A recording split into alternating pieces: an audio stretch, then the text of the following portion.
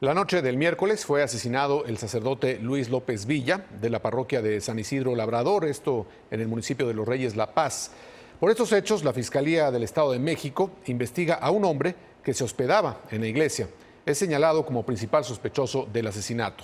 Es una información de Mario Torres y Rosa María Holguín.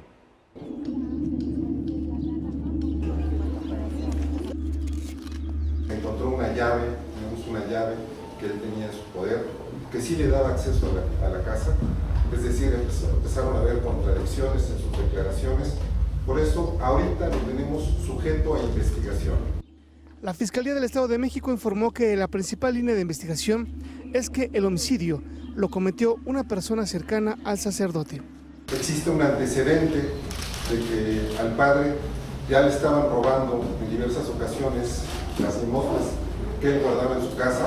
Él tenía o tiene un inquilino que, vive ahí eh, en su casa, que fue quien reportó eh, eh, que a las 10.30 de la noche, él al salir a comprar un refresco, vio la luz prendida y una puerta abierta, se comunicó con, con, la secretaria para poder accesar a este inmueble porque él refería no tener acceso y es cuando descubre el fallecimiento de, del cura.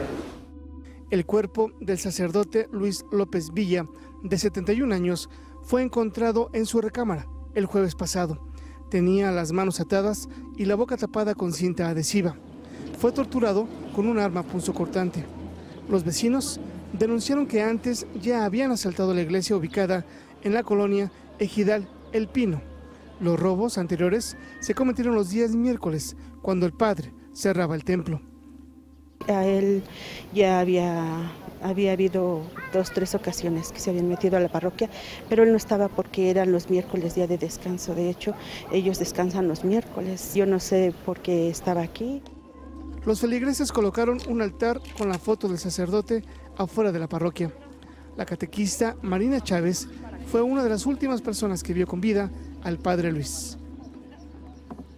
El martes tuve cita con él. No sé si él ya presentía, pero él me dio un abrazo tan fuerte y me dijo, Marina, pidan por mí. Yo pido por ustedes y ustedes pidan por mí. Y me dio un abrazo tan fuerte